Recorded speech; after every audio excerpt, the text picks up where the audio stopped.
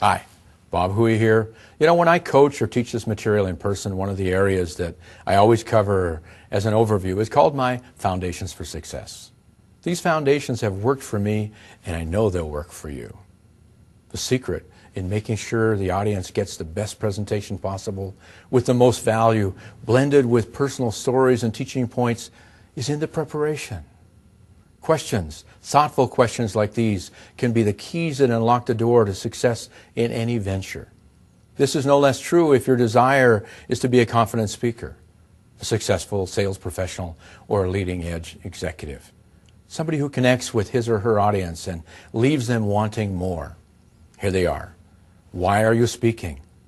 What do you want to accomplish? Who is your audience? When will you be speaking? How long will you be speaking? Where will you be speaking? And what tools or props will you use?